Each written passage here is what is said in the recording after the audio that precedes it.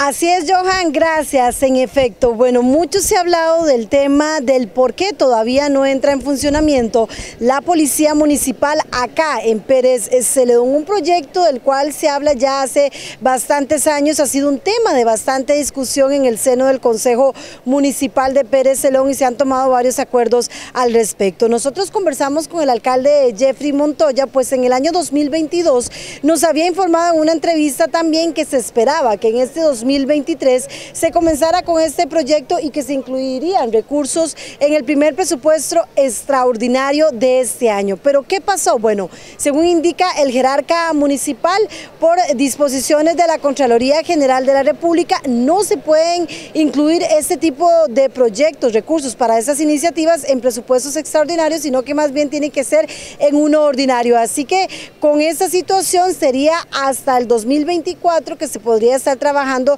el proyecto. Escuchemos aquí la explicación del alcalde En este momento pues eh, tenemos ya lo que resta la incorporación ya presupuestaria en el presupuesto que corresponda.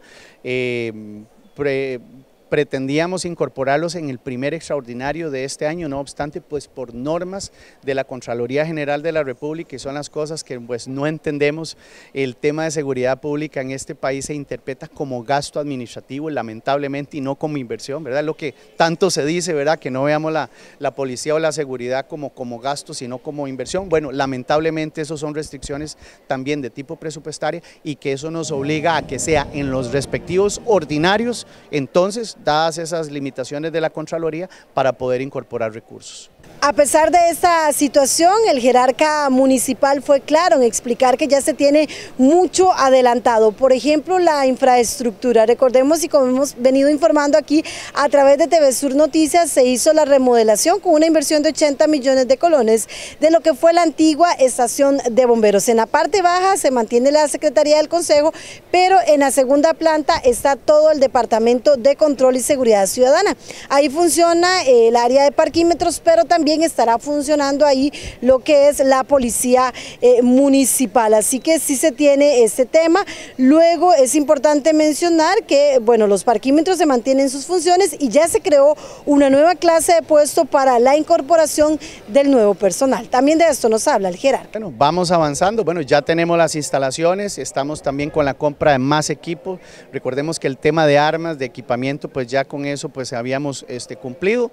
Eh, en su momento pues también también lo habíamos informado, pues que teníamos toda una pretensión de transformar a nuestros muchachos que están en parquímetros en, en el tema de policía municipal. No se pudo por temas de requisitos, tuvimos que ajustar inclusive a nivel de normativa, crear una nueva clase de puesto denominada policía este, municipal con un tema salarial importante, con el tema de porcentaje y plus este, de riesgo y más ahora en estos momentos con el tema de salario este, único de las escalas salariales. Así que bueno, esperamos que este año podamos darle con contenido, caso contrario pues eh, iríamos al 2024 con el proyecto, con el tema este, de ordinario. Eh, viene la compra de un equipo, una unidad móvil más, un transporte más, un carro más, un vehículo más, eh, para reforzar también esas tareas. Y es que para arrancar con este proyecto se requieren alrededor de 100 millones de colones para la contratación de personal. Estamos hablando entre 8 y 10 personas para arrancar el proyecto. El tema parquímetros, ahí están los muchachos, lo que es esa oficina como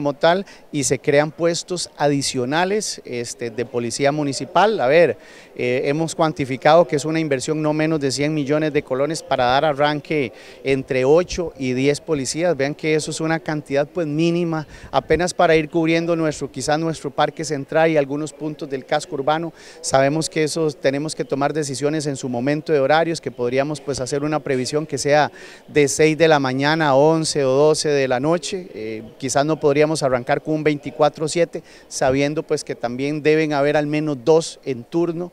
Así que bueno, el tema de disposición de personal este, y desde el punto de vista remunerativo es, es importante, es cuantioso y es parte de los esfuerzos que hacemos porque sabemos que el tema de seguridad no tiene inversión propia, la tenemos que sacar de recursos propios, de los recursos libres de patentes, de los recursos libres de impuestos de bienes inmuebles, así que pues también es todo un reto adicional que, que ahí tenemos. Son 100 millones Así es, así es. En este caso el, el arranque y después pues ir haciendo pues la renovación de personal y aumentándolo.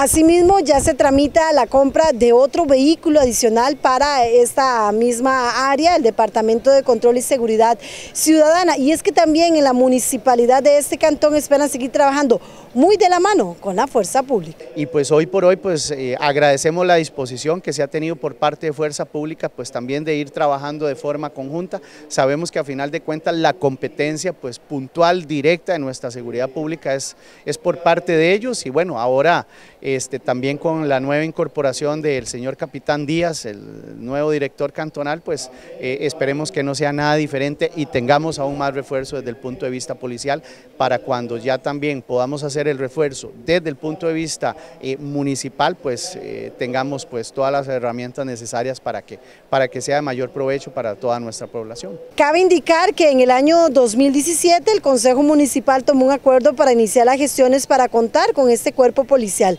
Se hizo la compra del equipo, armamento y vehículo.